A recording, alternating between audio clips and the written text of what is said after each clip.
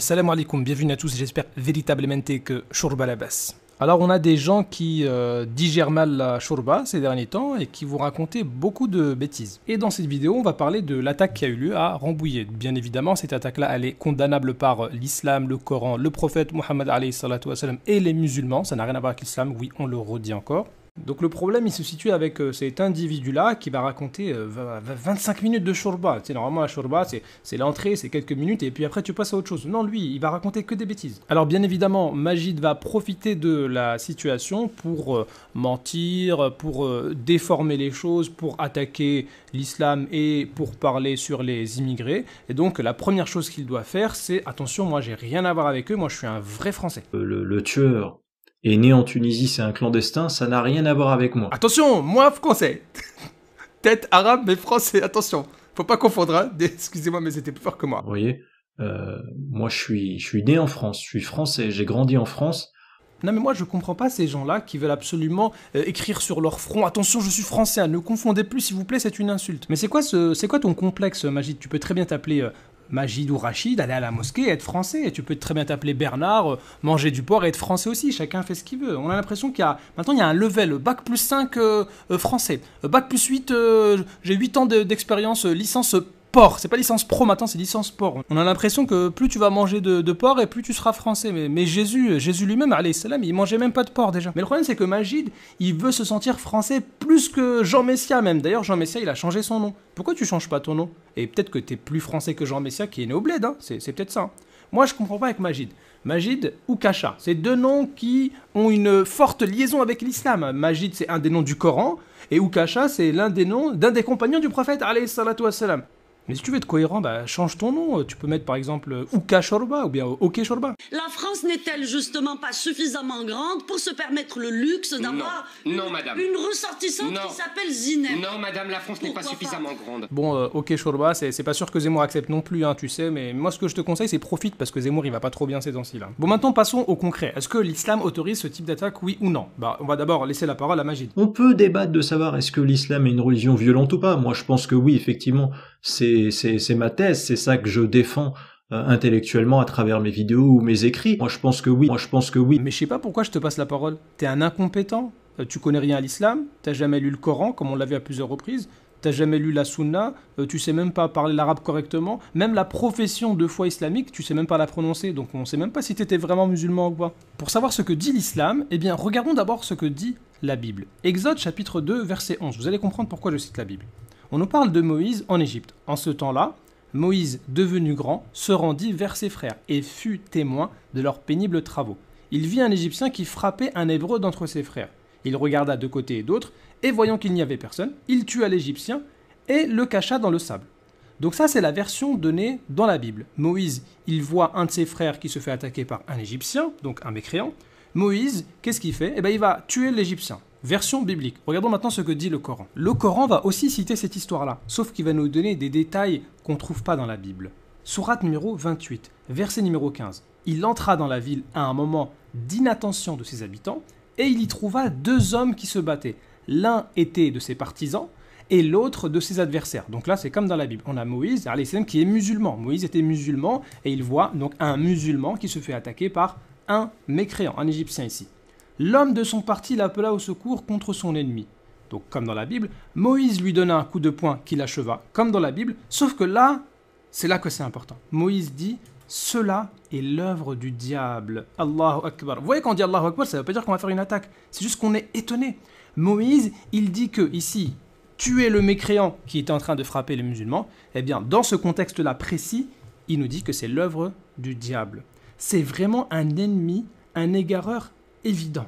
Donc ça veut dire que l'islam va nous donner la véritable interprétation de l'histoire de Moussa salam et que Moïse, lorsqu'il a fait justement cet acte-là, eh bien il a regretté juste après et il a dit que c'était l'œuvre du diable. Donc pour bien comprendre le contexte, là on est dans le cas où il y a des musulmans, puisque pour nous les musulmans, Moussa salam et les enfants d'Israël, ils étaient musulmans, ils étaient oppressés donc en infériorité numérique, ils avaient moins de force, ils recevaient une injustice de la part des mécréants de l'époque.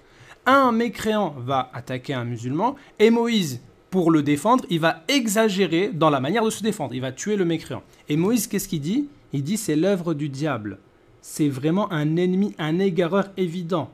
Et par la suite, il va demander pardon et Allah va lui pardonner. Il va pas lui dire c'est pas grave, c'était des mécréants, regarde comment ils t'attaquent et tout.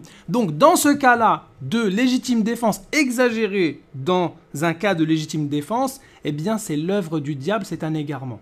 Et vous pensez que ce type-là de Rambouillet, eh ben c'est islamique ce qu'il fait, ça n'a rien à voir. Donc Magid, tu es un ignare, tu n'as jamais lu le Coran, tu ne connais rien. Essayez de dire oui, moi je pense que ça c'est faux tu n'as jamais lu cette sourate-là, tu ne connais rien à l'islam. Là, on n'a rien à voir. Exagérer dans légitime défense, c'est le diable. Que dire d'aller attaquer une personne comme ça euh, dans la nature? C'est, Ça n'a rien à voir avec l'islam, ça. Bon, maintenant, revenons à l'histoire. C'était un musulman pratiquant. Mais qu'est-ce que t'en sais, toi? Toi, tu connais rien à l'islam. Hein. on aurait trouvé un tapis de prière, oh là là, un Coran dans son sac. Ça prouve rien du tout, ça. Majid, c'est un cacheur et il est fidèle à sa description. Il va vous dire oui, on a trouvé un Coran, un tapis de prière dans son sac, mais il va jamais, jamais, jamais vous dire qu'on a trouvé dans son téléphone des images pornographiques et transsexuelles. Ah, c'est très musulman ça. Mais ce qui est intéressant, c'est que Majid va nous donner lui-même le moyen d'en savoir plus sur les intentions de la personne. Comment tu peux passer à la télé, comme chroniqueur, comme journaliste, et dire il n'était pas musulman, il n'a pas agi au nom de l'islam? Mais en fait, t'en sais quoi qu'il n'était pas musulman T'en sais quoi que euh, l'islam, c'est pas son idéologie personnelle T'as été son colocataire durant les trois dernières années à le croiser quotidiennement pour le savoir Très bien, on va prendre en compte les critères donnés par Majidou Kacha lui-même, à savoir être proche de la personne en question ici. Et eh bien regardons le témoignage de son propre père. Voilà, regardons le témoignage de son père, hein, c'est mieux qu'un colocataire, hein. il veut nous dire quoi Peut-être son fils toute la nuit, il passe toute la nuit en prière. Ah bah oui, toute la nuit il ne dort pas. Ah non, il fume il fume, il fume beaucoup. Bon, déjà, c'est pas un musulman exemplaire. Ok. Il me laisse même pas dormir. D'accord. Moi, je ne parle pas beaucoup avec lui, sinon il va me tuer. Il est fou, il est fou. Non mais attends. Selon les mêmes critères que tu nous donnes, il faut que la personne soit proche de, euh, du terroriste en question ici pour nous décrire un peu plus euh, le caractère de la personne. T'as été son colocataire durant les trois dernières années à le croiser quotidiennement pour le savoir? Bah là, c'est pas son colocataire, c'est son père. Il dort avec lui. Et la nuit, son fils lui dit Je vais te tuer. Laisse-moi tranquille. il était fou, son fils. regarde encore une fois le témoignage de son propre père. Une fois, il était dans la cuisine, il a pris un couteau à la main et il rigolait. Il me menaçait, il était complètement fou. Donc là, c'est pas une histoire de, de mécréant, pas mécréant, tuer les mécréants, tout ça. C'était, il allait tuer son propre père. Il sait quand même lui-même ce en quoi il croyait. Et non, puisque son père disait qu'il était complètement fou et il avait des troubles psychologiques. Par contre, toi, la shorba commence à te monter à la tête. Moi, un ex-musulman qui n'est jamais invité à la télé publique ou sur des chaînes info. Bah c'est normal, tu racontes trop de bêtises. Je suis actif sur YouTube pour défendre la liberté de critique envers l'islam. Ah bah en parlant de liberté d'expression, c'est pas toi qui refuses euh, les débats face à moi, les, défis que je te lance, et tu supprimes même mes commentaires, tu désactives Jésus musulman de, ta chaîne. C'est bizarre ça, non? Pourtant, il n'y a, pas d'insulte dans les commentaires, hein. c'est juste bonjour Magid, euh, voilà, réponse à ta vidéo, euh, ce que tu racontes c'est faux, tout simplement. Et mon commentaire il disparaît, hein. donc si au moins il y avait... Parce que moi je suis le premier même à, à supprimer les commentaires des gens qui viennent sur ma chaîne et qui vont insulter ou qui vont raconter des bêtises, ils vont faire des hors-sujets et tout ça je supprime. Mais quelqu'un qui vient de manière polie, il n'y a pas besoin de supprimer, c'est une réponse scientifique. Mais Magid, dès qu'il voit euh, Jésus musulman, euh, il supprime tout de suite, quoi. Même s'il y a un bonjour, euh, et même si je vais avec un autre compte, hein, essayez même de poster juste Jésus musulman, vous allez voir, il a bloqué ces mots. Donc Magid, c'est quelqu'un qui a peur de la réalité, hein. c'est pas juste Jésus musulman. Hein. N'importe quel musulman ou quelqu'un qui va faire une vidéo contre lui, il va supprimer directement. Donc en réalité, lorsque tu dis liberté d'expression, c'est. Ah oui, en fait, tu voulais dire liberté de faire exprès, ou peut-être t'étais fatigué, tu voulais dire liberté d'expresso. Euh, bon, maintenant, Majid, il va nous parler de choses bizarres qui se seraient passées après cette attaque. Il s'est passé des trucs bizarres et il faut vraiment qu'on en parle. T'aurais mieux fait de te taire. Hein. Dès le lendemain de l'attentat terroriste contre Stéphanie, une de nos compatriotes policières a Rambouillet, une manifestation contre l'islamophobie a réuni 150 personnes à Toulouse. Contre l'islamophobie. Oui, oui. Pas contre l'islamophilie, du terroriste djihadiste de Rambouillet, non, mais contre l'islamophobie. Bon, Majid, il nous dit euh, comment ça se fait que le lendemain de l'attaque euh, à Rambouillet, eh bien, il y a des gens qui vont manifester contre l'islamophobie. En gros, c'est pas le moment, euh, taisez-vous. Non, mais ça veut dire que si les musulmans se font attaquer, ils vont se taire parce que d'autres personnes se font attaquer. Ça ne marche pas. Alors, pourquoi ces gens-là ont manifesté à Toulouse? Eh bien, il suffisait de regarder parce que Majid ne donne pas l'information. C'est parce que dernièrement, il y a eu multiplication des actes contre les musulmans, comme on le voit avec des tags au niveau des mosquées, des incendies, ou bien même des gens qui sont menacés, tout simplement. Et donc ça, Magid ne le dit pas. Et bien sûr, Magid ne va pas nous parler non plus des attaques racistes faites contre des maghrébins, comme on le voit ici par exemple. Et le pire, c'est que Magid va nous dire Ouais, mais pourquoi vous faites ces manifestations-là? Euh, Vous devriez plutôt faire des manifestations pour condamner ce qui s'est passé à Rambouillet. Alors par contre, j'ai cherché les traces d'une manifestation islamique contre le terroriste djihadiste de Rambouillet qui aurait eu lieu le lendemain de l'attentat. Et là, en fait, bah, j'ai rien trouvé. J'ai rien trouvé. T'es sûr? Alors, on va prendre la même référence citée par Majid, ce site-là ici, puisque il va se baser sur ce site pour nous dire qu'il y a eu une manifestation contre l'islamophobie. Hein, d'accord? Les gens, ils ont appelé ça comme ça. Ok. Mais le problème, Majid, c'est que dans la même référence que tu cites, il fallait descendre un peu en bas.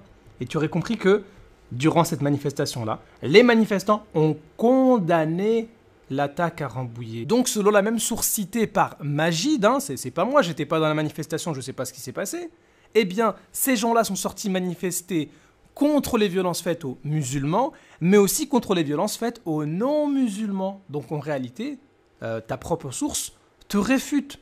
Donc euh, soit tu, mens, soit tu, tu sais pas lire, ou soit c'est encore une fois la shorba. Allez, ça Turak.